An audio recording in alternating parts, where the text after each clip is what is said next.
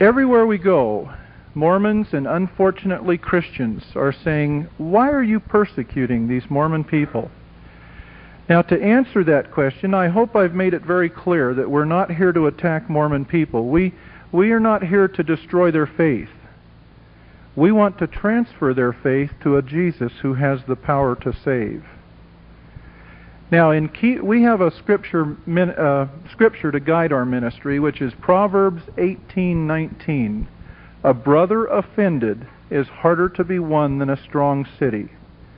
We will not reach Mormons by laughing at them.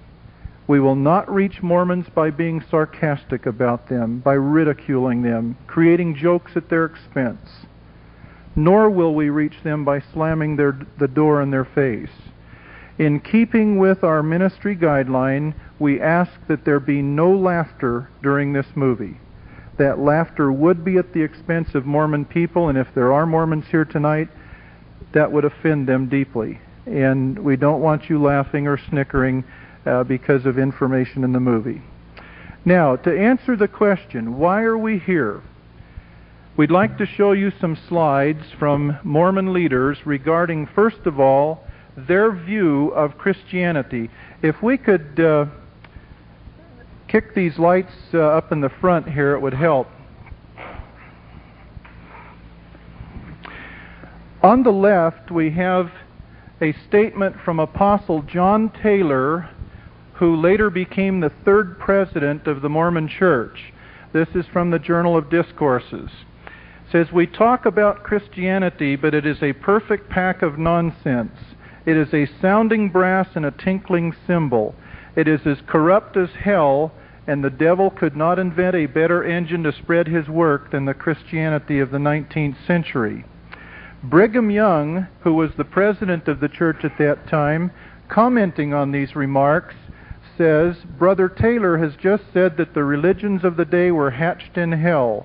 The eggs were laid in hell, hatched on its borders, and then kicked onto the earth. In a pamphlet or tract that the Mormon missionaries pass out today, it's very current. It's called What the Mormons Think of Christ. We find the following Christians speak often of the blood of Christ and its cleansing power. Much that is believed and taught on this subject, however, is such utter nonsense and so palpably false that to believe it is to lose one's salvation. For instance, many believe or pretend to believe that if we confess Christ with our lips and avow that we accept Him as our personal Savior, we are thereby saved. They say that His blood, without any other act than mere belief, makes us clean. And of course, they are attacking that position. In the authorized version of the first vision story, and I emphasize the authorized version because I have studied eight different versions in great detail, and there are major contradictions between the various versions. But in the authorized version, in the Pearl of Great Price, it has Joseph Smith saying the following I asked the personages who stood above me in the light which of all the sects was right, for at this time it had never entered into my heart that all were wrong and which I should join. I was answered that I must join none of them for they were all wrong. And the personage who addressed me said that all their creeds were an abomination in his sight, that those professors were all corrupt.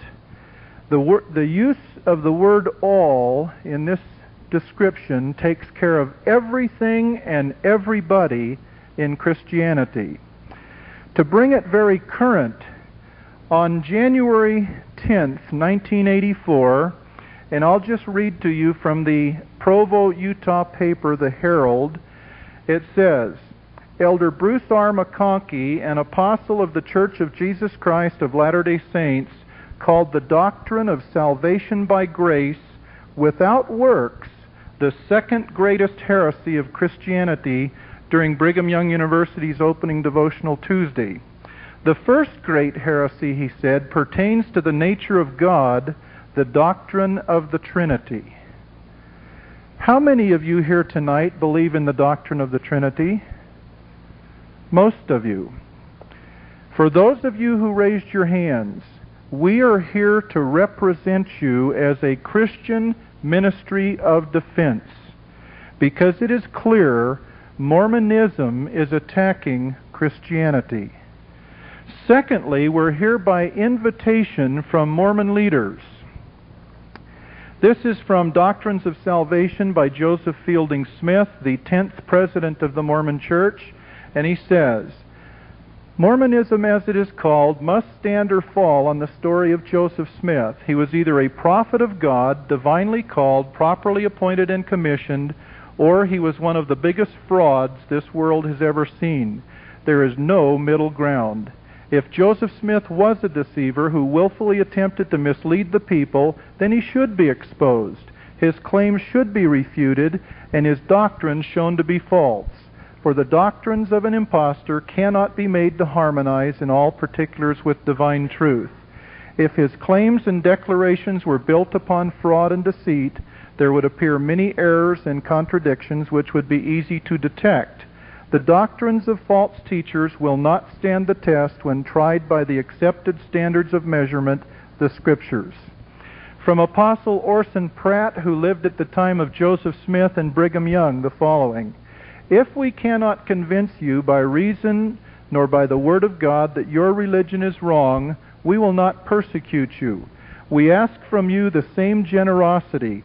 Protect us in the exercise of our religious rights. Convince us of our errors of doctrine if we have any, by reason, by logical arguments, or by the Word of God and we will be ever grateful for the information, and you will ever have the pleasing reflection that you have been instruments in the hands of God of redeeming your fellow beings. From George Albert Smith, who was a counselor to Brigham Young in the presidency, the following If a faith will not bear to be investigated, if its preachers and professors are afraid to have it examined, their foundation must be very weak. And finally, from Brigham Young, I say to the whole world, receive the truth, no matter who presents it to you. Take up the Bible, compare the religion of the Latter day Saints with it, and see if it will stand the test. Tonight, we accept that invitation. We're going to take up the Bible, we're going to compare the religion of the Latter day Saints with it, and see if it will stand the test. Well, now what do we do?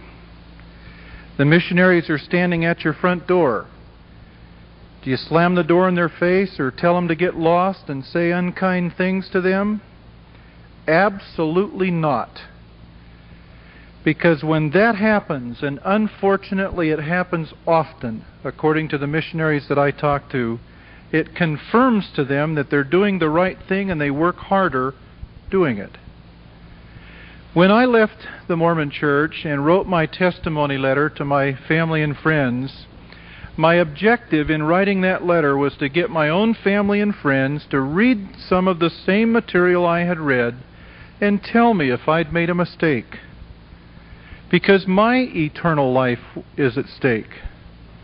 And even after I drove a thousand miles from Bakersfield to Kennewick and Richland, Washington, and gave the books to my brothers, one of my, my younger brothers is a bishop in Kennewick, Washington. My older brother was was the was uh, in the elders quorum presidency at the time. He's now 70 doing missionary work. And I gave them the books. And I checked back with them several months later and I said, "How are you doing?" And they said, "We don't have time to read all this material." And I realized that they were telling me some truth. They don't have the time to spend like I did to read all this material. My younger brother's a bishop. He's the father of six small children. He's a school teacher. My older brother's a school teacher, very active in musical circles, and they just don't have time. And most people don't have time to read all this material. So I decided that I would reduce the heresy of Mormonism down to the irreducible. You've seen a lot of heresy in this movie. Most of it is irrelevant. The relevant issue is is if you've got the wrong God and the wrong Jesus, then everything else is irrelevant. Because if you're worshiping any God other than the one true God, you're worshiping an idol. And if you're worshiping an idol, it will bring you spiritual death. So I spent about a year compiling some research together, and I wrote a second letter to my family and friends. This second letter has become so useful to Christians in witnessing to Mormons that we now have it available. It's a 35 page letter, single space, small type, with an awful lot of information in it. There's a cover sheet on the front of it giving instructions on how to use the material in this letter. This is such a simple method of witnessing to Mormons, we even call it the KISS method of witnessing to Mormons. Some of you might know the KISS method. Keep it simple, saint. Not the other version. This is the Christian version. Keep it simple, saint. Four simple questions that you can ask a Mormon based on the answers that you will get, you can make two observation statements to the Mormon, and a reasonable, rational Mormon should realize that they're going to have to do some further checking. First question that you can ask a Mormon Is your God a glorified, resurrected, exalted man?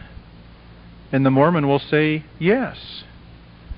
Second question is your Jesus the spirit brother of Lucifer? And they will say, Yes, we all are. Now, at that point, all you need to do as a Christian is to make an observation statement to them and say, Well, that means we're worshiping a different God in the name of another Jesus, and we can't both be right, can we? One of us has got to be wrong. Would you agree? And they agree because they feel very confident in what they've been taught by their leaders. Third question who taught you that God is a glorified, resurrected, exalted man? Where did that come from? Now, the answer to that is Joseph Smith, and you might need to guide them to that answer. They might say, Well, I learned it in at BYU or Institute or seminary or Sunday school, or my parents taught it to me. So you might need to guide them to that answer. Once you get agreement, yes, it was Joseph Smith who taught this, then you make your second observation statement and say, well, that means that if Joseph Smith is a true prophet, I'm worshiping the wrong God. Now, the Mormon will get excited when they hear you say that because they'll see convert written right across your forehead.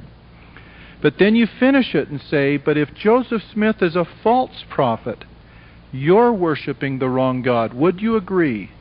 and they agree because they feel very confident in what they've been taught by their leaders. Last question Have you tested Joseph Smith to determine whether he's a true prophet or a false prophet? Now, the Mormons have not done this by and large, and so what you normally get in return to that question is their testimony. They'll say, Well, I've studied it, I've prayed about it, and I testify to you that Joseph Smith is a true prophet and they're very powerful in their testimony. They might include other things, like about the Book of Mormon or Spencer W. Kimball being the living prophet today or something else. Whenever a Mormon bears you their testimony, you might tell them a story that's on the cover page of the instruction sheet.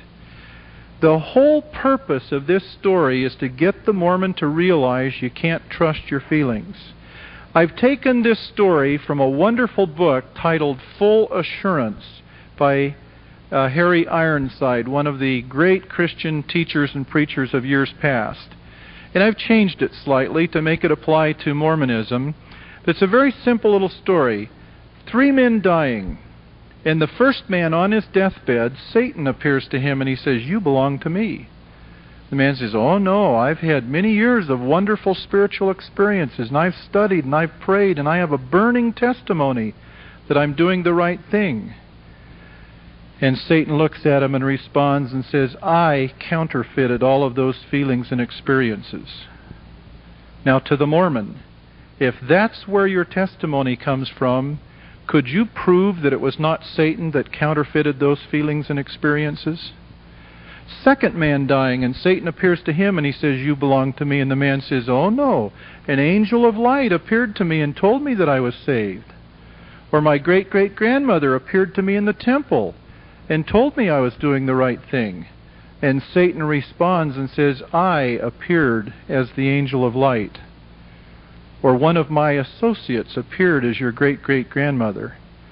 Now, to the Mormon, if that's where your testimony comes from, stories like that, whether they happen to you or other people. Could you prove that it was not Satan that appeared or one of his demon spirits? third man dying, and Satan appears to him and says, You belong to me. And the man smiles and he says, It is written, For God so loved the world that he gave his only begotten Son, that whosoever believeth on him should not perish but have everlasting life. I am a whosoever. Now, of the three men, which would you vote for as having full assurance of eternal life? You see, feelings and experiences can be important. But if they don't harmonize with what is written in God's holy word, there's no light in it. Isaiah 8:20. It is crucial that the Mormon understand that they have got to test Joseph Smith to determine whether he's a true prophet or whether he's a false prophet. My whole thesis on this 35 page letter is that if you can show that Joseph Smith is a false prophet, then Mormonism crumbles. I've listed four ways of testing Joseph Smith, four scriptures to test Joseph Smith two from the Bible, most importantly, two from Mormon scripture. The first scripture in the Bible dealing with testing a prophet is Deuteronomy 13, verses 1 to 5. The issue, other gods. We've already established with the Mormon that we're worshiping different gods, so let's go to the next one. Deuteronomy 18, verses 20 to 22. The issue, if the prophet says one thing in the name of the Lord and that thing, singular, doesn't come to pass, you've got a false prophet. Now let's go to Mormon scripture. They have a scripture book called the Doctrine and Covenants. Section 1, verse 37 says, Search these commandments, for they are true and faithful, and the prophecies and promises which are in them shall all be fulfilled. And section 3, verse 3 says, Remember, remember that it is not the work of God that is frustrated, but the work of men.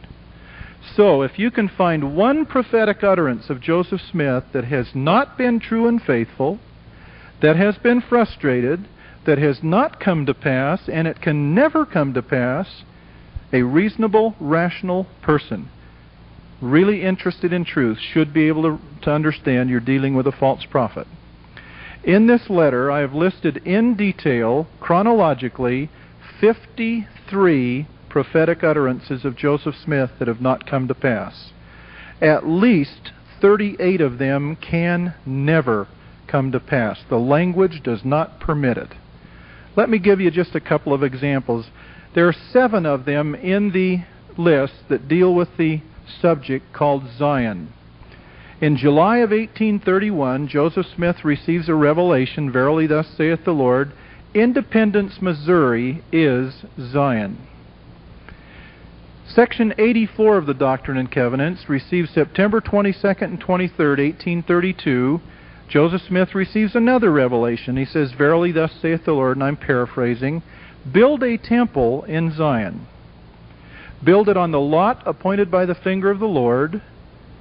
Build it in the generation now living, the generation of 1832, and Joseph Smith you dedicated. They have never built that temple in independence. The lot appointed by the finger of the Lord is now owned by an apostate group from the Mormon Church known as the Church of Christ Temple Lot. They plan on building their own temple there. They won't sell it for any amount of money. All the people living in 1832 are dead by declaration of Joseph Fielding Smith in answers to gospel questions. And Joseph Smith is dead. He can't dedicate it. There is no way to escape the reality that that is a false prophecy. The very least that you can say about it is that it has been frustrated, therefore it's not from God, it's from the mind of man. But Joseph Smith said, Verily, thus saith the Lord. Finally, on August 16, 1834, Joseph Smith says, Two years from September 11th next is the appointed time for the redemption of Zion. Zion has never been redeemed. September 11th, 1836 came and went. It's never been redeemed. Now, if you can go through six or eight of these with a Mormon, and there's some in here that are absolutely devastating. If you can go through six or eight of these with a Mormon, and they look you in the eye, and with strong emotion they say, I don't care if they all don't come to pass. I testify that Joseph Smith is a true prophet, and they go into their testimony When that happens, you are watching a person in the process of self hypnosis. When the ear hears what the mouth says enough times, the mind will believe.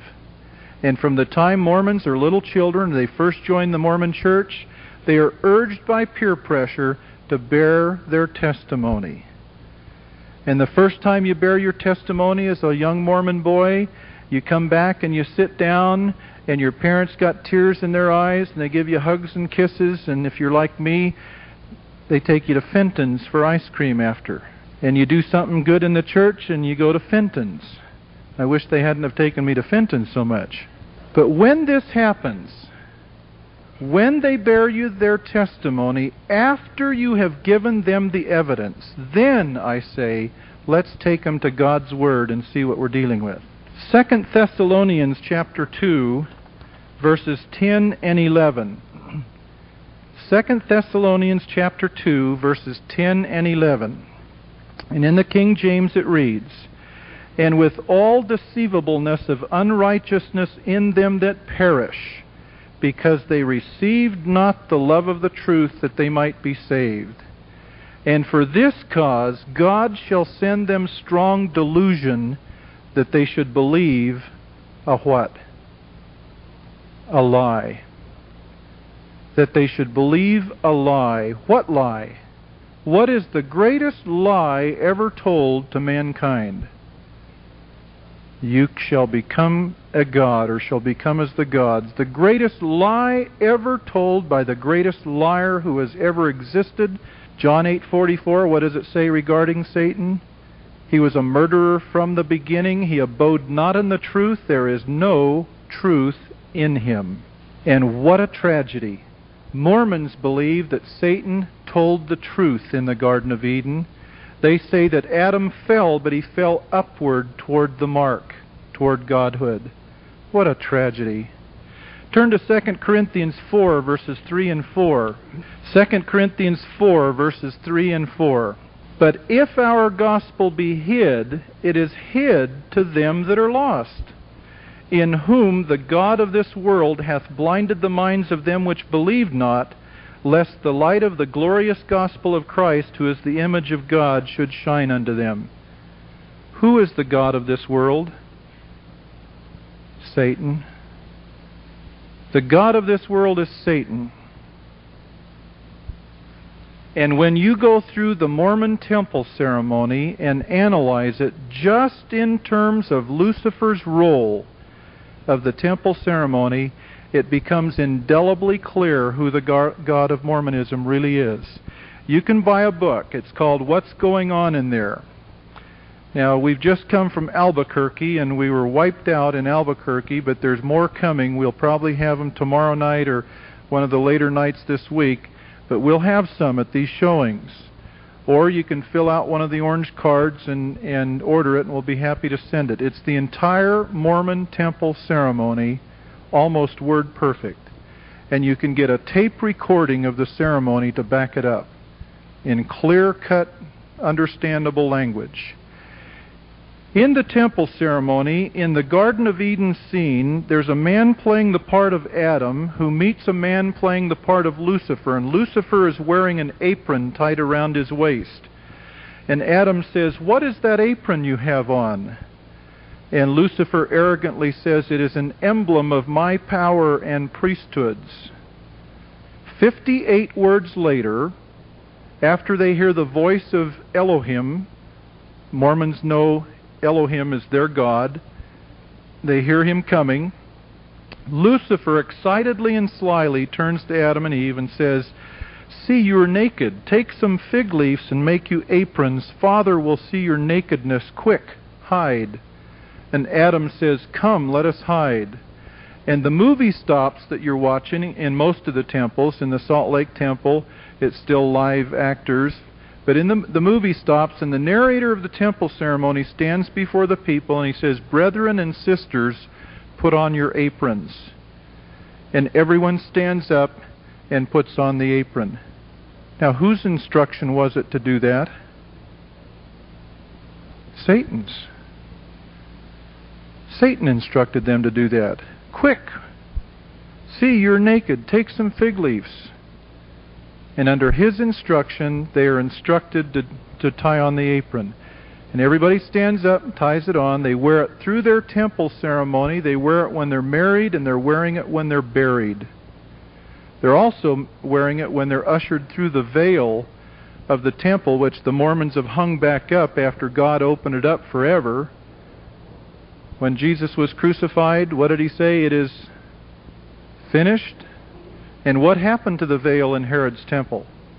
rent from the top to the bottom, 60 feet high, about 8 inches thick, opening up access to God through the shed blood of Jesus Christ, who becomes the last high priest after the order of Melchizedek. And because he lives forever, he hath an unchangeable priesthood, Hebrews 7:24. And the Mormons have hung the veil back up and they put holes in it. And through these holes, you go through a ritual, sticking your arms through the holes and receiving secret handshakes and giving secret names. And finally, upon the five points of fellowship, you can go through the veil wearing that apron. And it's not God that you're going into the presence of, not the one true God, because God rejected that. God rejected the, the fig leaf. And Animals were slain, and their skins were made into coverings to cover their nakedness, to cover their sin. And this is the first arrow pointing to Jesus Christ and the shedding of blood being necessary to cover the sin. Without the shedding of blood, there's no remission of sin, Hebrews 9:22. What a tragedy that they're even involved in this, this ritual like this. A little bit later in the temple ceremony, Adam is praying to the Mormon God, and he says, O God, hear the words of my mouth three times. Lucifer answers his prayer. Now, that should immediately raise a red flag in any thinking person's mind to realize you're praying to your God, but Lucifer answers your prayer. And Lucifer says, I hear you. What is it you want? And Adam says, surprised, Who are you? I am the God of this world, he says arrogantly. You, the God of this world? Yes, what do you want? I am looking for messengers. And then Lucifer, with a smug, wise grin, says, Oh, I see. You want someone to preach to you. You want religion, do you? I will have preachers here presently. Then a preacher appears and he says, Good morning, a fine congregation. And Lucifer says, Yes, they're very good people. They're concerned about religion. Are you a preacher? I am. Have you been to college and received training for the ministry? Certainly, a man cannot preach unless he has been trained for the ministry. Do you preach the Orthodox religion? Yes, that is what I preach. If you will preach your Orthodox religion to these people and convert them, I'll pay you well.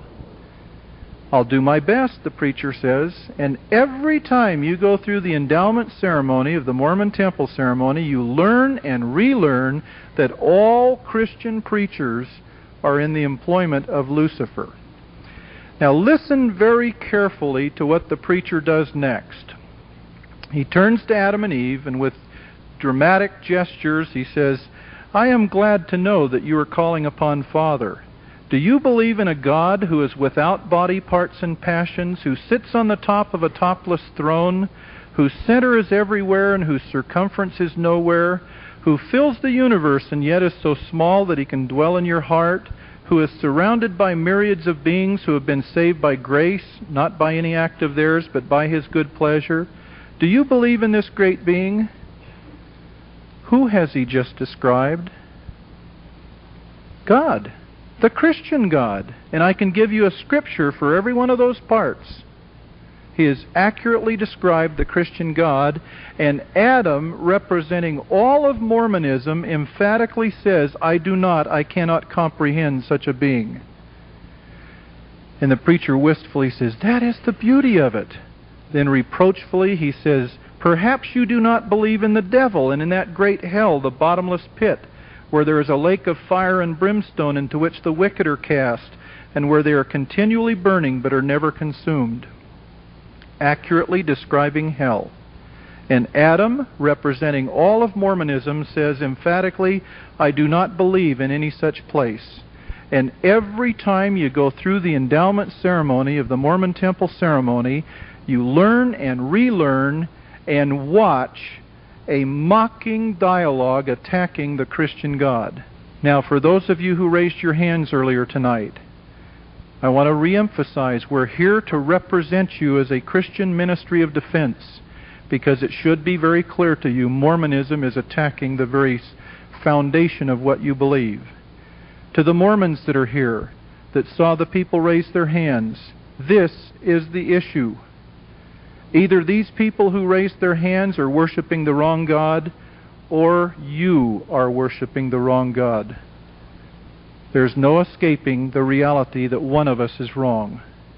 Now, finally, just before Lucifer gets kicked out of the temple ceremony, they make it look really good. They're going to kick him out. He turns to the camera lens and he looks right at you as if he's looking right into your eyes. And with sinister language or sinister approach and vehemence, he says, I have a word to say concerning these people. If they do not walk up to every covenant they make at these altars in this temple this day, they will be in my power. One of the covenants that they swear in the temple is to obey the law of obedience.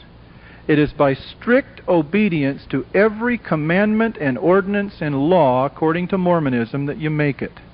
Last year, I bought a new book in Salt Lake City called Commandments and Promises of God by Bernard P. Brockbank. In this book, he has listed over 4,300 commandments.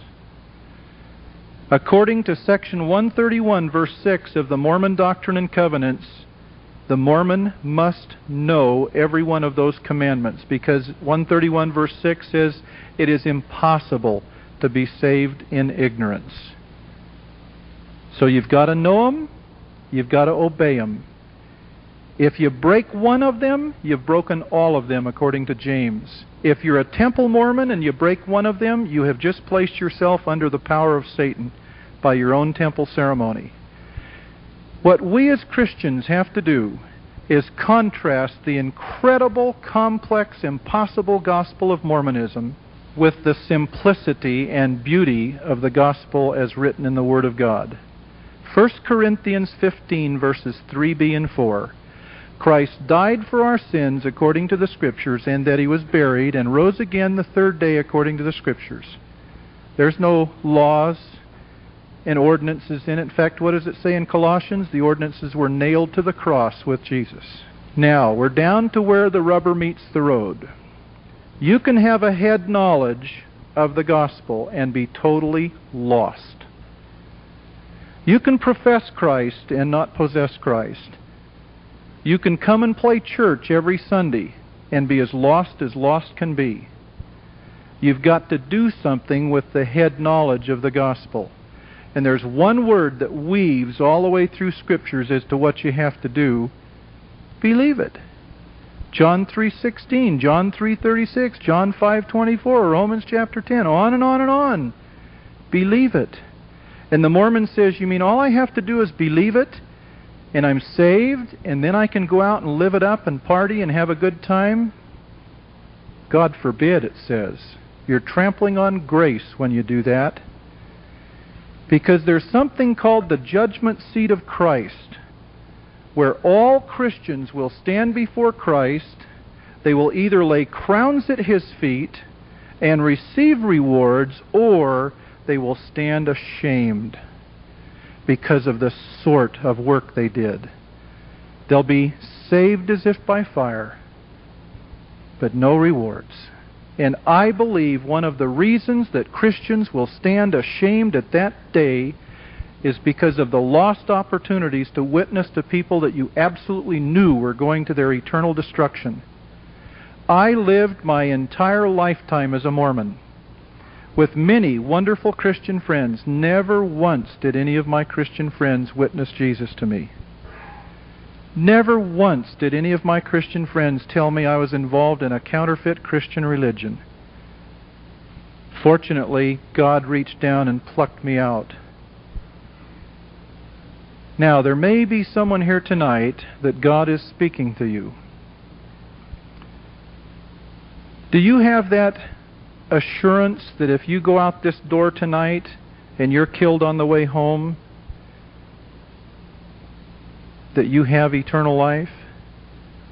Or if you're a Mormon and you go out that door tonight and you're killed on the on the way home and you believe that God is a glorified, resurrected, exalted man and Jesus is the spirit brother of Lucifer, if you're killed on the way home tonight, you're twice dead. Dead in the flesh and dead in the spirit. Now you can prevent that from happening. If you don't know whether you have the assurance of eternal life, talk to me after. We'll talk to you privately. Talk to Pastor Dykeman. Talk to any of our people here uh, in the ministry, and we'll talk to you privately and settle that issue once and for all.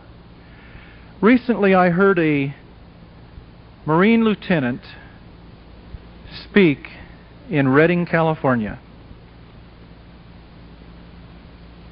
He was born in a Christian family. He was baptized.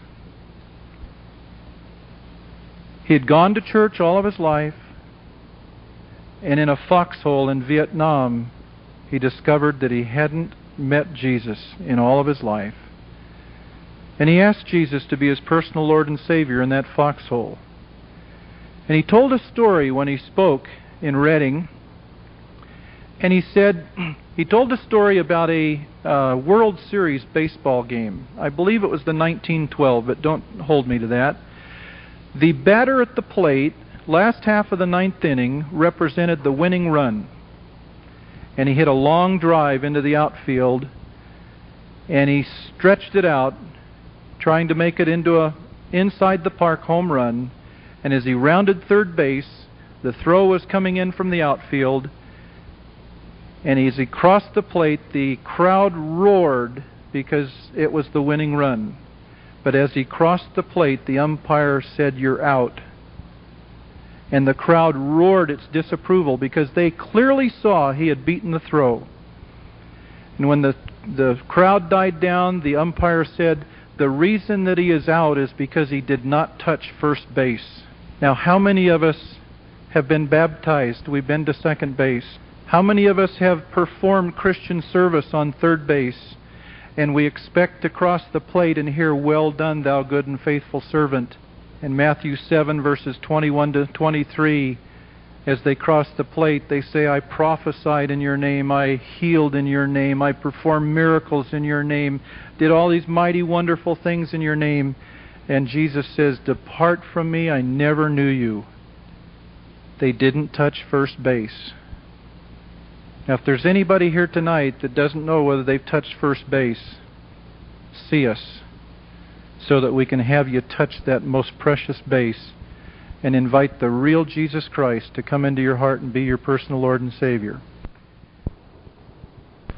When we first showed this movie in Sacramento, California, at First Baptist Church in, in Fair Oaks, two young men came to see the movie, and I'll even tell you one of them's name Magdi Salama. He's an Egyptian, a Coptic. His family have been Christian since the 700s. His roommate, a Mormon, is a professional football player. And Magdi started witnessing Jesus to his Mormon roommate, and the Mormon roommate retaliated by giving him a triple combination Book of Mormon, Doctrine and Covenants, and Pearl of Great Price. And Magdi was thumbing through the Pearl of Great Price, and he came to some drawings that were supposedly from the Egyptian uh, papyri that Joseph Smith used to translate into the book of Abraham. And Magdi started laughing. And the Mormon says, What are you laughing at? He says, This is a joke. What do you mean a joke? He says, Well, it says here this is in Abraham's handwriting. He says, I learned in the third grade what this is. This is from the Egyptian Book of the Dead. That got the Mormon to come see the movie. That was on a Friday night. He left with an armload of literature, which we gave him free. The following Monday night, the two of them came to our home for dinner and almost breakfast. The Mormon left with a Safeway paper bag full of books and literature, which we gave to him. To make a long story short, he has asked the real Jesus to be his personal Lord and Savior. And I can hardly wait for him to go public because he's got a great headline God sent me an Egyptian to lead me out of bondage. Larry Mondragon, young high school boy, sharp kid. Christian said, "I saw a movie last night. Come and see with it. Come and see it with me tomorrow night. Tell me if it's true." He came. He was shocked.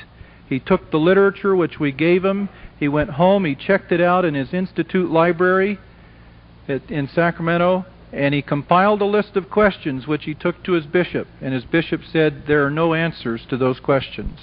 And Larry looked at him and he says, You have just lost my membership by default. Several weeks later, Dolly Sackett, who is in the temple scene of the, of the movie, led him to Jesus in our front room. He's now a Sunday school teacher in that little First Baptist church in Fair Oaks. I could go on and on and on. I showed the, the movie in the Kapingamarangi village on the island of Ponape. Four of their people had joined the Mormon church. And we showed the movie. We had a question and answer period following, and with a translator because some of them couldn't really understand English that well. But they asked a question What were they doing in the movie when they went like that? And as I described it, and other things, they become shocked, became shocked. All of them have left the Mormon church and are safe in the arms of the real Jesus now. I could tell you stories like this from Virginia and Maryland to Guam to Ponape to Truk. Uh, all over the world, these things are happening. And they're precious. These slides have been prepared. They are photographic copies from authoritative Mormon books and documents, and they are accepted by Mormons and well known by most Mormons. This first slide, if we can turn these lights down, I see there's a rheostat on that, so if you can just dim these lights. Bob, uh, oh, he's got it. Very good. This first one is from the book called Mormon Doctrine by Apostle Bruce R. McConkie, page 643. No man can conceive of the glory that may be attained through the resurrection. God Himself, the Father of us all, is a glorified, exalted, immortal, resurrected man. Nothing could be more clearly stated than this. He's taking it from the teachings of the prophet Joseph Smith and from Doctrine and Covenants, section 130, verse 22.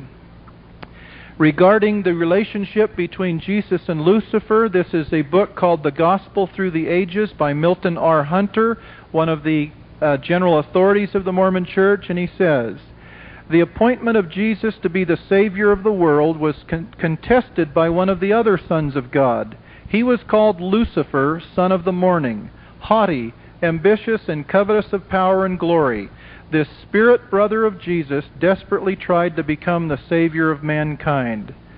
Spirit brother of Jesus. The first two questions in the KISS method, you will have no difficulty with a Mormon in getting a straight answer from them, a yes answer, unless they are deliberately trying to sidestep the question or to deceive you. That does happen occasionally.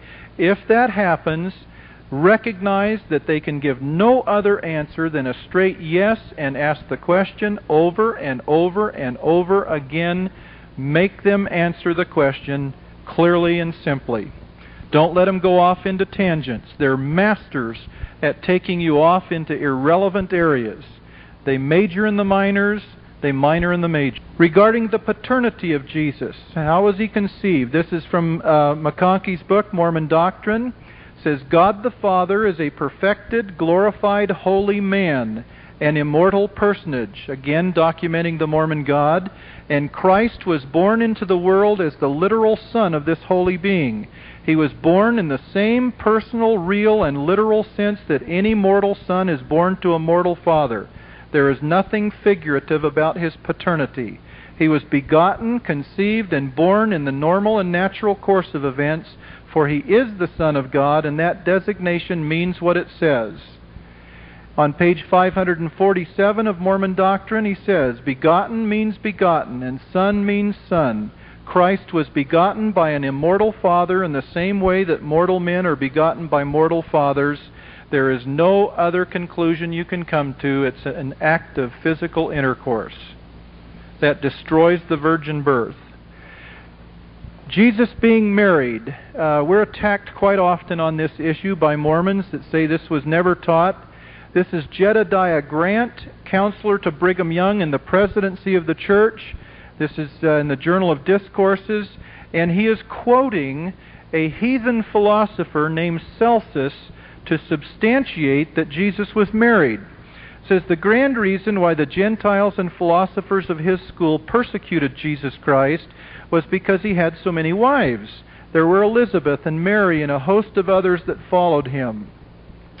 Here's President Orson Hyde, the president of the Quorum of the Twelve Apostles at the time of Brigham Young, and he says, It will be borne in mind that once on a time there was a marriage in Cana of Galilee, and on a careful reading of that transaction it will be discovered that no less a person than Jesus Christ was married on that occasion. If he was never married, his intimacy with Mary and Martha and the other Mary also whom Jesus loved must have been highly unbecoming and improper to say the best of it. Here's a personal letter uh, written to President Joseph Fielding Smith uh, with the following questions Was Christ married? What is meant by he shall see his seed? Does this mean that Christ had children? And Christ came here to set us the example, and therefore we believe that he must have been married. Are we right? in his own handwriting, Yes, but do not preach it. The Lord advised us not to cast pearls before swine. We could give you additional documentation on these issues, but we'd be here all night if we covered all of them. We do have over 140 slides of documentation if uh, in the question and answer period we have other issues we can document. How did the Mormon God come to become a God? In this slide, is represented the very crux of the heresy of Mormon doctrine. It's a doctrine known as the law of eternal progression. In the beginning, Elohim, as they pronounce it, Elohim, his name really is Ahman, A H M A N. Uh, in the beginning, he was raw, unorganized matter or eternal uh, matter. From this, through an act of physical intercourse between his father God and his mother goddess, he became a spirit child in a pre existent spirit world.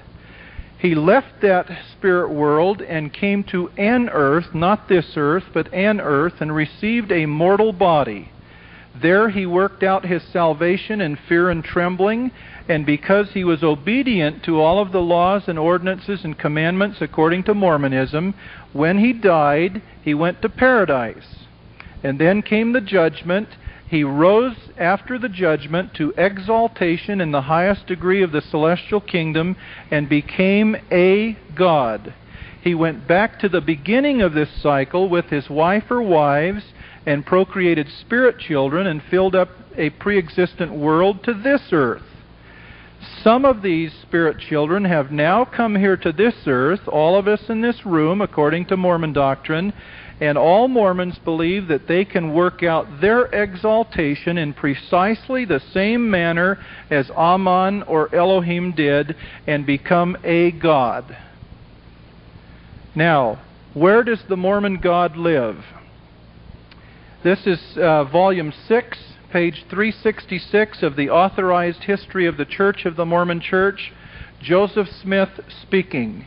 Here then is eternal life, to know the only wise and true God, and you've got to learn how to be gods yourselves and to be kings and priests to God, the same as all gods have done before you namely by going from one small degree to another, and from a small capacity to a great one, from grace to grace, from exaltation to exaltation, until you attain to the resurrection of the dead and are able to dwell in everlasting burnings. Down below, the earthly tabernacle is laid down and dissolved. They shall rise again to dwell in everlasting burnings in immortal glory, to inherit the same power, the same glory, and the same exaltation until you arrive at the station of a God and ascend the throne of eternal power, the same as those who have gone before.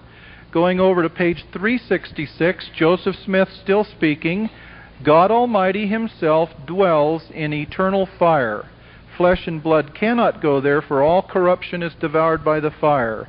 Immortality dwells in everlasting burnings. I will from time to time reveal to you the subjects that are revealed by the Holy Ghost to me. And down below, all men who are immortal dwell in everlasting burnings. If you make it according to Mormon doctrine, to exaltation, you will dwell in eternal fire and everlasting burnings. Who is it that's going to live in everlasting burnings?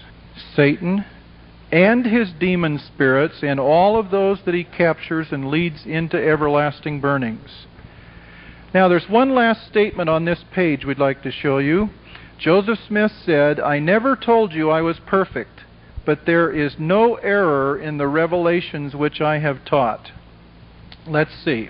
There's chapter 4 of the 1833 Book of Commandments. We have photomechanical reproductions of all of the original editions the 1833 Book of Commandments, the 1835 Doctrine and Covenants, the 1830 Book of Mormon, and the 1851 Pearl of Great Price. We have them here in our briefcases if anybody wants to see them. These changes would have to be made in order to bring the text into conformity with the current edition of the uh, Doctrine and Covenants. Words added, words deleted, textual change, whole sections taken out, whole sections added back in. Here's another page, whole sections added in, another page. And we could go on showing slides like this for at least hours. They've even changed the name of their angel. Who knows the name of the angel uh, on the top of the Mormon temples? Moroni? They've changed it. Here is the 1851 edition of the Pearl of Great Price, and Joseph Smith is telling the story. When I first looked, this is up in the top, when I first looked at, upon him, I was afraid. But the fear soon left me. He called me by name and said unto me that he was a messenger sent from the presence of God to me, and that his name was Nephi. That's Scripture. Joseph Smith's mother in the history of Joseph Smith, a biography of Joseph Smith and his progenitors for many generations, Lucy Mack Smith. It's Nephi. Oliver Cowdery said, it's Nephi. And so they've changed it. Now, in the scripture, it's Moroni, as you can see down below.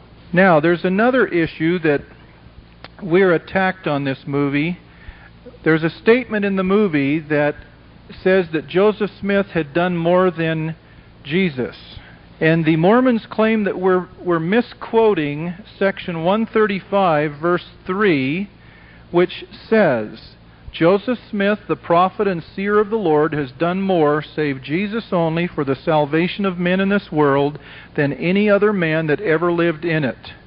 The Mormons say we are taking out save Jesus only to make that statement we're not using section 135 for our documentation. We're using volume 6 of the History of the Church, pages 408 and 409. Joseph Smith speaking. I have more to boast of than ever any man had. I am the only man that has ever been able to keep a whole church together since the days of Adam. A large majority of the whole have stood by me. Neither Paul, John, Peter, nor Jesus ever did it. I boast that no man ever did such a work as I. The followers of Jesus ran away from him, but the Latter day Saints never ran away from me yet. The facts are that eight out of the first twelve apostles either ex- were excommunicated or apostatized. Two of them came back into the church. One of them became one of the most bitter enemies the church ever had. And one of them was an enemy for a time, Thomas Marsh. He was rebaptized into the church and the facts are that this is this statement just is not true. If we can have the lights. Now, at this time we'd like to go into the question and answer period, and I want to lay a ground rule for this time. This is to be a question and answer period, period. It is not to be a forum for the bearing of testimonies, either Mormon or Christian. It is not to be a time period monopolized by any one person in the questioning process. We want everyone to have a chance, and we want to stick to the issue. We don't want to go off into other areas of theology. We want to stick to my experiences in Mormonism, and we also want to avoid personal attacks, the ad hominem attack, which is so fruitless. You ask me a question, and I'll answer the question. I might help, have Ken help me. We'll document with slides where, where possible, and I'll repeat the question so everybody can hear if I discern that everybody can't hear. So, with that, the only dumb question is the one that's never asked. So fire away. Okay. Pat Matrisciana is the producer of the film. I've talked with him extensively on this. They went to England and they told them that they were making a film, a documentary on the Mormon Church. They were going to have ex Mormons and anti Mormons in the film, and they wanted to produce a balanced documentary. And they agreed to be filmed, and uh, Pat Matrisciana has a letter in his file authorizing any of the film that they filmed, and they even gave them eight reels of Mormon film and gave authorization to use any part of that. Now, if this was in any way done illegally, the Mormon Church would have filed for an injunction to stop this movie a long time ago because they have owned at least two copies of this film, the video, since about February of 1983, sold to Bonneville International by the producer. They have seen it. If there was anything wrong, they would have stopped it. They have done nothing to stop this film. Any other questions? And if I don't answer any question completely to your satisfaction, please tell me, because I want to make everything clear. Yes, the signs that they make for uh, suffering that your life to be taken are these uh, signs evidencing ways that your life may be taken for revealing these uh, secrets? Yes, they are. Have threats been made concerning this? I have 12 cassette tapes with death threats and obscenities on our incoming answer phone. We have had uh, our apartment egged. We've had a dead snake and a dead uh, iguana plopped on our doorstep. I've had my car royally decorated on two occasions with eggs, oil, uh, syrup, uh, Kool Aid powder on one occasion, and the little sprinkly colored things you put on cookies on another occasion. The last time they tried to super glue my doors closed on my car, that didn't work. They have no difficulty finding my car. My license plate says ex Mormon. And they love it in Salt Lake. They clap, thumbs up one way. Uh, they really like it in Salt Lake. I, you know, I have no secrets from any of the Mormons. Uh, they know my phone number. The missionaries come by my home. Missionaries call me. Uh, we have open dialogue. Uh, I propose to many Mormons, you know, if we're going to disagree, let's agree to disagree agreeably, but let's talk. Don't take the ostrich approach and stick your head in the sand. Say, I don't want to hear about it or read about it or even think about it. That's tragic. Any other questions? Is the temple ritual patterned after the Masonic ritual? It has been taken from the Masonic ritual. Joseph Smith was a Mason. He went from entered apprentice to master Mason in less than 24 hours at sight. And uh, within days after they kicked all the Mormons out of the Masonic Lodge in Illinois, they instituted the endowment ceremony over the room of Joseph Smith's store, and it was Masonic through and through. The marks over the garments and the veil in the temple are from the Masonic, uh, the square and the compass. You have many Masonic uh, symbols on the uh, temple. Uh, the Nauvoo temple even had a Masonic weather vane on top of it. Any other questions? Okay, good question. The belief seems so preposterous and unbelievable. Why do so many people believe it? I've spent a great deal of time thinking about this. I have a degree in sociology and a minor in psychology. And with my study, I've come to the conclusion it's because of one single word greed. They want to become a god or a goddess. And they live with the hope that they can become exalted and become a god or a goddess and 2 Thessalonians 2, verses 10 to 12, makes that very clear. Because of that greed, they have brought themselves under strong delusion from God. That's why so many temple Mormons are almost impossible to reach. It is strong delusion. Now, the formula for reaching them is we sow the seed, we water the seed with prayer, God gives the increase. Our problem is the same problem Abraham had. We don't understand God's timing, and we want to rush it. And many people want to make it seem worse than it is. You know, if you've got the wrong God and the wrong Jesus, how much worse can you get? That's fatal. Any other questions? Yes, sir. Uh, what is the Adam God theory? on September 9th, 1852, Joe, Brigham Young started the Adam God doctrine going when he said, uh, he said, uh, Adam is our Father and our God and the only God with whom we have to do. That started it. And there it is. Uh, he is our Father and our God and the only God with whom we have to do. Up to uh, his death in 1877, Brigham Young taught it, and we have so many uh, references of where he taught it, right up to 1873 said, and I'm, I'm calling from memory, how much unbelief exists in the hearts and minds of Latter day Saints over one particular doctrine that I taught, namely that Adam is our Father and our God. Uh, David John Buerger in spring issue of Dialogue uh, 1983 82, 1982, wrote an extensive article on the Adam God issue, and that is irrefutable. Brigham Young taught it. Now, this brings up an interesting question. Mormons say, oh, my producer says, let's show you a slide.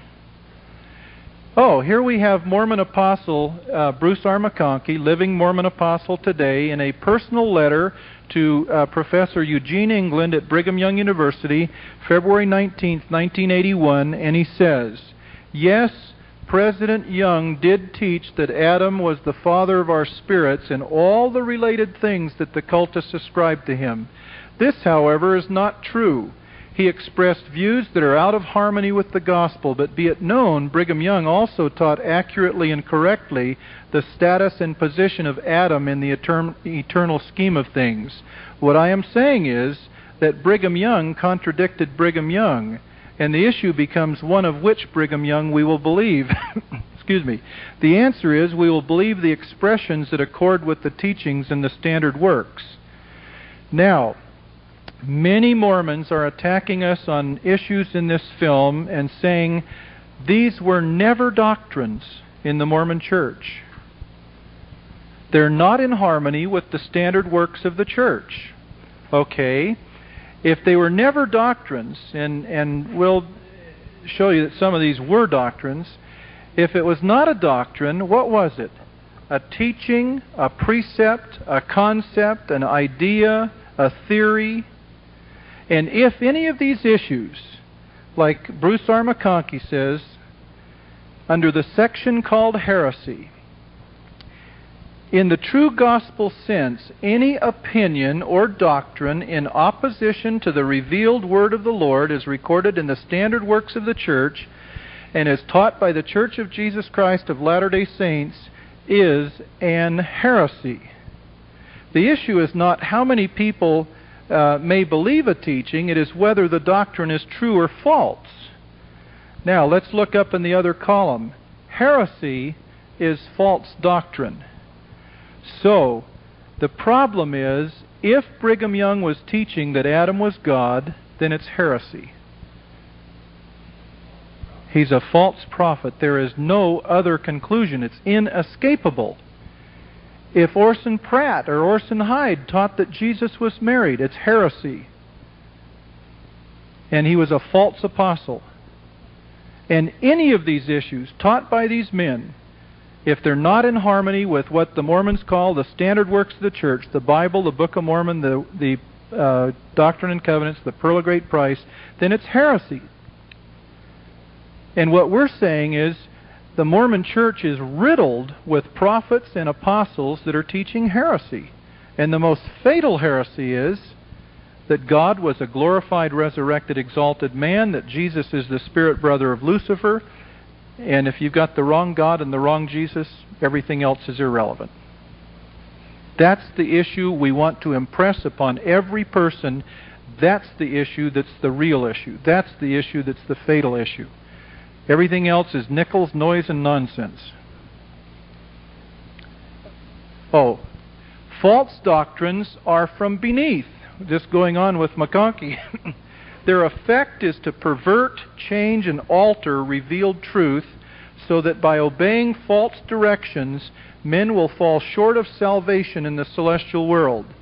Down below, false doctrines abound in churches which deny contemporary revelation and consequently have no sure way of checking various views and concepts to see if they conform to the mind and will of deity. Any other questions? Yes, sir. Okay, there. Who really wrote the Book of Mormon? That's the title of a book by uh, three authors. And uh, there are several theories about where the Book of Mormon came from. One of them is that it came from a book or a manuscript written by uh, a preacher named Solomon Spaulding. It's called Manuscript Story. This manuscript is in the Oberlin College Library in Ohio. Up until recently, I have taken a very non committal uh, position on Solomon Spaulding. But recently, there's a new book written by Vernal Holley uh, outlining the parallels between manuscript story and the Book of Mormon, and there's some very interesting information that he has uh, discovered. Here's a map of New York. Here's Palmyra, where Joseph Smith started the Mormon Church. These names, underlined in red, are names of towns and communities. Maybe if we can just dim the lights here, they can see a little better. Uh, and you can leave the lights dimmed because I can see the people. Here's the names of towns and communities that existed in Joseph Smith's time Rama, Morin, Agath, down on the right, Oneida, Angola in the middle, Moravanton over on the left, uh, down in the lower right, Lehi, uh, Shiloh, which is hard to see right there, Alma, Jerusalem, and so forth. These are only a few of the names. We have many, many more. These blue line names are Book of Mormon communities. And look up at the top. Rama, Rama, Morin, Morin. Agath, Ogath. Oneida, Oneida. Moravanton, Morianton. Angola's the same, up in the middle, right above New York, yeah. Uh, Jerusalem's the same. Alma, Valley of Alma, Shiloh, Shilom, Lehi, Nephi, or Lehi becomes Lehi, Nephi, and so forth. We have many, many more names that we could put on here, but it would become too busy for you to, to really understand it. Now, look at the geography.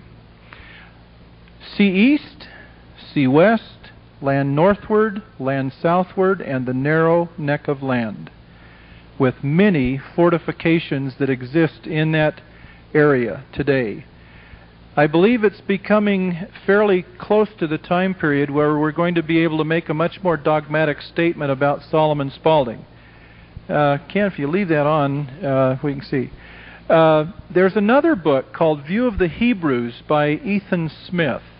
I can tell you positively it is connected to the Book of Mormon even Mormon apostle B.H. Roberts wrote a several hundred page book outlining the parallels between View of the Hebrews and the Book of Mormon. You have whole chapters of Isaiah in the Book of Mormon, so the Bible is a source. Uh, Joseph Smith was surrounded by people like Sidney Rigdon, W. W. Phelps, Oliver Cowdery, people with intellect and with uh, ability to put this story together. So the, the last statement I will make about the Book of Mormon, we know that God had no part in the creation of the Book of Mormon whatsoever. Any other questions? Okay, I announced in the beginning that the temple ceremony scene is a reenactment scene. It was not filmed in a Mormon temple. It was filmed in a temple, the Masonic temple, ironically, in Hollywood. And uh, it's a reenactment scene, and it's very, very accurate. Very accurate, yes. Why wouldn't Mormons? Well, this young lady says she is an ex Mormon, and she never read this while she was a Mormon. Why can't Mormons see this? Well, basically, it's because most Mormons never read it.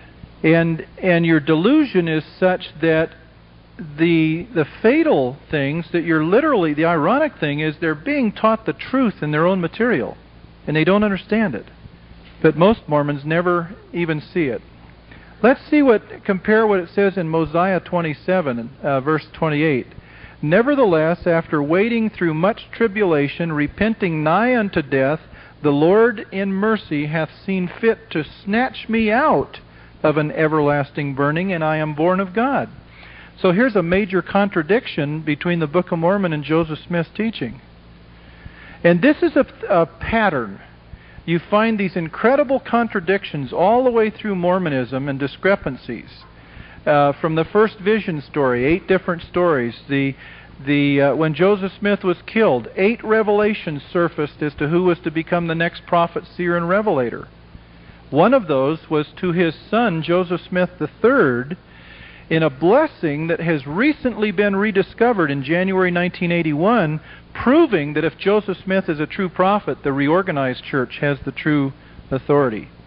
The text of this blessing is in my KISS method of witnessing. Here's a photograph of the blessing.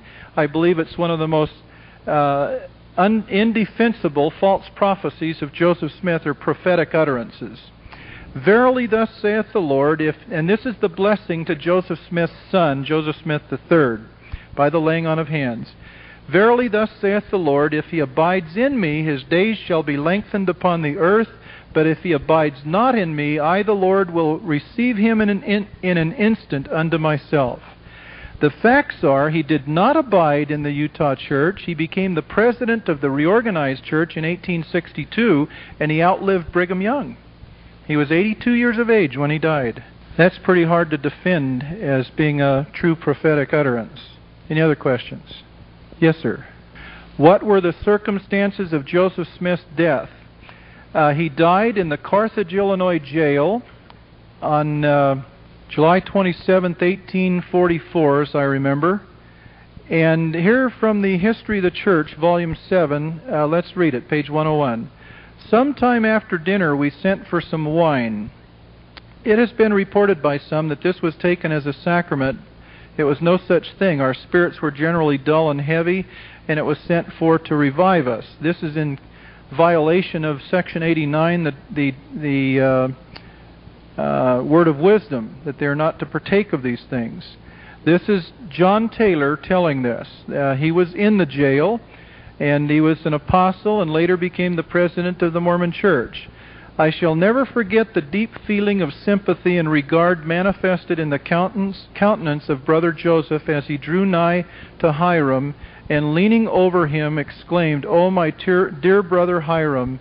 He, however, instant he had, Hyrum had just been shot. A ball came through the door and hit Hyrum in the forehead, and he exclaimed, "I am a dead man," and fell dead. Uh, let's see. He, uh, he, Joseph Smith, however, instantly arose and with a firm, quick step and a determined expression of countenance approached the door and pulling the six shooter left by Brother Wheelock from his pocket, opened the door slightly, and snapped the pistol six successive times. Only three of the barrels, however, were discharged. I afterwards understood that two or three were wounded by this discharges, two of whom I am informed died. The Mormon Church will teach you that Joseph Smith died as a martyr. Does a martyr die in a blazing gun battle? If we can hit those lights again, it's a little awkward. Uh, a martyr doesn't die in a blazing gun battle. He voluntarily lays down his life. Yes. Is the history of the church a document which they uh, support? Very interesting question. This was a major problem I had in studying the Tanner's book. One of the charges is that over 60% of the church history was not written by Joseph Smith, it was written by other people who later transferred the language from third person to first person and now has been presented in the Mormon Church's history book as first person Joseph Smith telling the story. In the answer to the Tanner's book by the the uh, anonymous church historian, I have a copy of that with me. He said regarding this charge, and I'll quote it. This is certainly all true, and as an historian, I regret the confusion that it has caused. Over 60% of the history of the church in their history book was not written by Joseph Smith, it has been changed. And so the scholarly Mormons don't trust the history. They always go back to original documents where possible. This was the kind of research that I did because I had learned of this discrepancy as much as possible. I went back to original documents to check it. And uh, the history cannot be trusted. They see what they want to see in order to support their own position or greed. Yes, that's exactly true. Yes, sir. Good question. What is the fate of those who fail to reach godhood or exaltation? Well, they can go to the terrestrial kingdom. We'll have a slide up here in a second. Back to the uh, law of eternal progression. If you don't make it to exaltation, you go to the terrestrial kingdom if you've been a good person. And that's where all Christians go, honorable men who did not accept Mormonism. That's where all Mormons go who were not capable of uh, obeying every single commandment. Now, when you think about that, we're all going the same place anyway, according to Mormon doctrine. Now, all the bad people, the liars and murderers and whoremongers and so forth, they go to the celestial kingdom. It is still a degree of glory. The difference between the three is who rules or is present in the kingdom. Elohim and Jesus can both be present in the celestial kingdom. Jesus can be present in the terrestrial kingdom, not Elohim. God can't go there, doesn't go there. The Holy Spirit or the Holy Ghost, the Holy Spirit can be present in the celestial kingdom, but neither Jesus nor Elohim can be present in the celestial kingdom. There is another place down in the lower right. Uh, it's called the second death. That's where I go, according to written Mormon doctrine. I am a son of perdition. And this becomes interesting because written Mormon doctrine says I am a son of perdition because I am speaking out against the, the Mormon church. Mormon leaders that I know, high Mormon leaders, friends of mine, former clients of mine, say, no, you didn't have enough knowledge of Mormonism to have rejected it. And so we come to a catch 22 situation. And this becomes interesting. Ken will grab that here in a second and we'll show it to you. this will be from Doctrines of Salvation by Joseph Fielding Smith. And it's a real catch 22 situation. And I'll read. This is Doctrines of Salvation by Joseph Fielding Smith. And he quotes, he says, Joseph Smith taught a plurality of gods, and that man, by obeying the commandments of God and keeping the whole law, will eventually reach the power and exaltation by which he also will become a God. Going down, We've got to accept every covenant that He gives us if we want exaltation. And as pertaining to the new and everlasting covenant, it was instituted for the fullness of my glory, and that and he that receiveth a fullness thereof must and shall abide the law, or he shall be damned, saith the Lord God. Now, there is a clear cut definition in detail of the new and everlasting covenant. It is everything the fullness of the gospel. So, marriage properly performed, baptism, ordination to the priesthood, everything else, every contract, every obligation, every performance that pertains to the gospel of Jesus Christ, which is sealed by the Holy Spirit of promise according to his law here given, is a part of the new and everlasting covenant. Going on. In other words, those who will not make their lives conform in every particular to the divine life, who will not adjust their lives through faith and repentance and obedience to all divine law, will never be in a position to comprehend truth in its fullness. Now, stop for a moment and think of that. The only way that you can comprehend truth in its fullness is to be obedient to all law. The only way that you can reach the celestial kingdom is to obey all truth. Now, look at the next statement. Therefore, only in the celestial kingdom will the fullness of the truth be attained. You can't reach it unless you obey all truth, but you'll never learn all truth until you get to the celestial kingdom. It's catch 22. It's impossible. Any other question? How do the Mormons rationalize the discrepancy between the Bible and the Book of Mormon and other of their scriptures? There are so many discrepancies. Well, let's to begin with show what the Mormon Church believes about its Bible. The eighth article of faith out of the 13 articles of faith today says, We believe the Bible to be the Word of God as far as it is translated correctly. We also believe the Book of Mormon to be the Word of God. So wherever the Bible and Mormon doctrine are not in harmony, the Bible is suspect as having been mistranslated. They have a very low uh, opinion of the Bible because they say wicked scribes changed it. So, most Mormons do not really study the discrepancies between their doctrines. We have a book written by Jim and Judy Robertson and an organization in Mesa, Arizona called Concerned Christians. And in one column it shows Mormon doctrine, in another column it shows Mormon scripture, and then the Bible. And in most of the major doctrinal areas of Mormonism, you find that the Bible and the Book of Mormon disagree with current Mormon doctrine.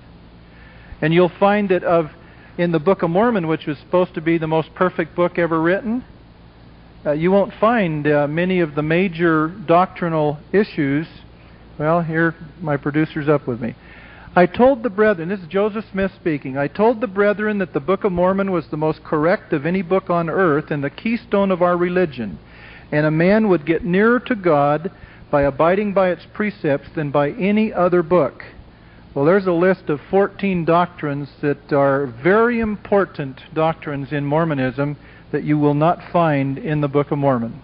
Now, we can make these lists available to you. In fact, Bob Witte is the author of a book called Where Does It Say That?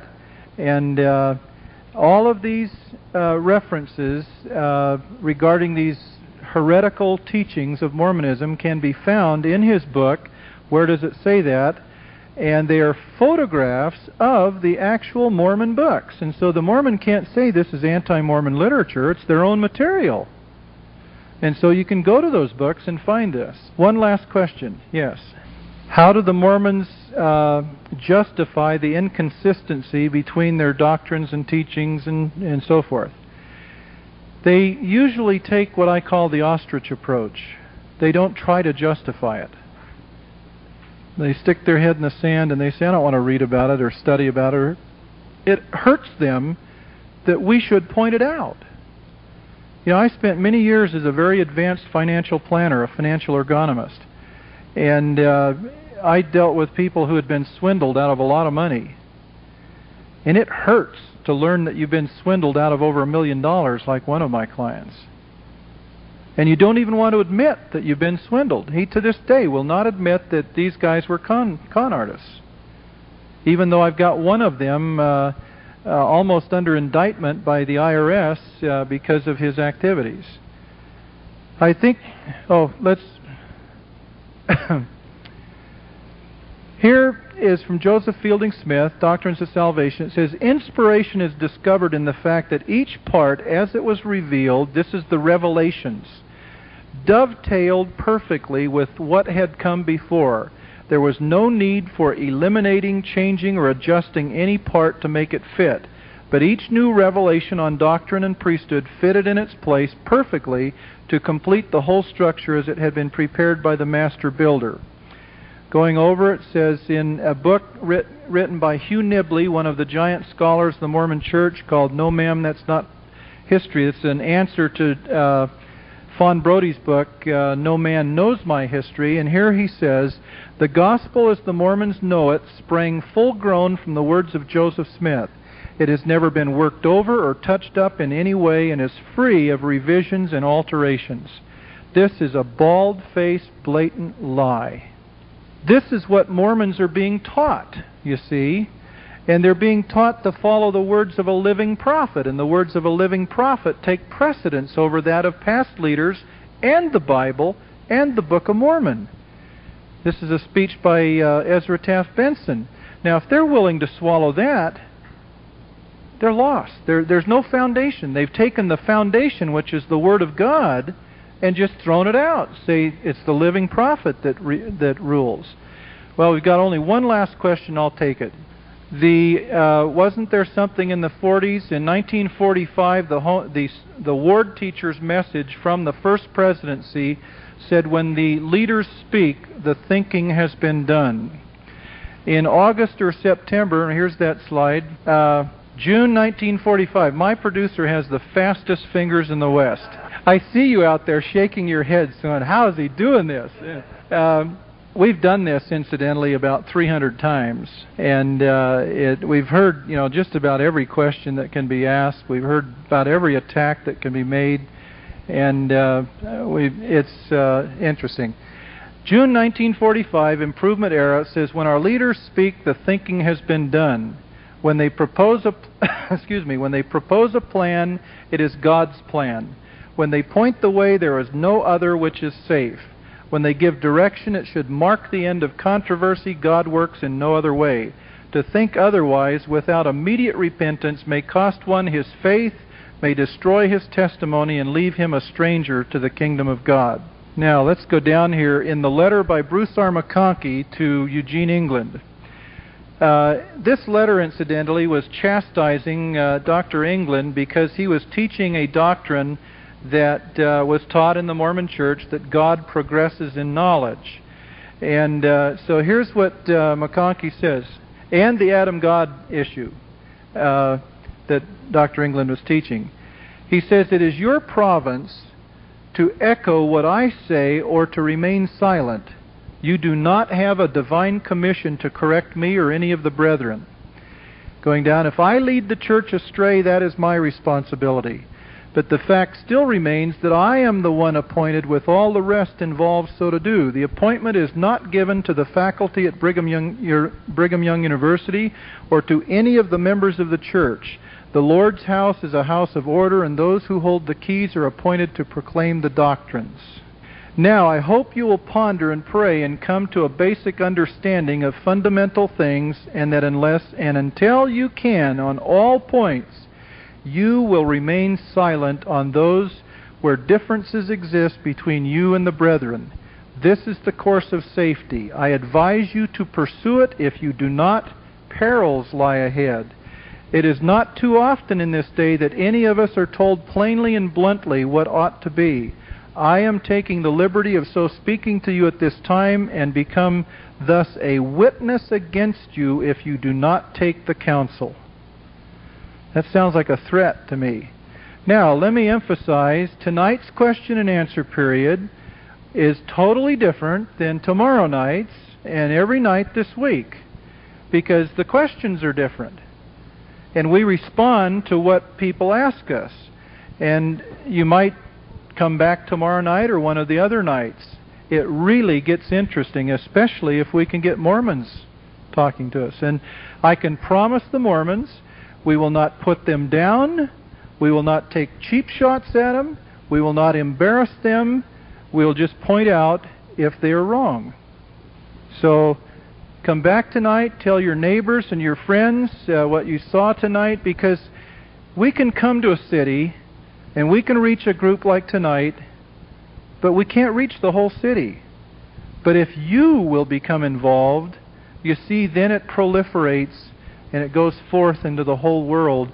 And if you can become a member of Ezekiel's band and learn to blow the trumpet, then you see we will reach Mormon people. Not until. We need your help.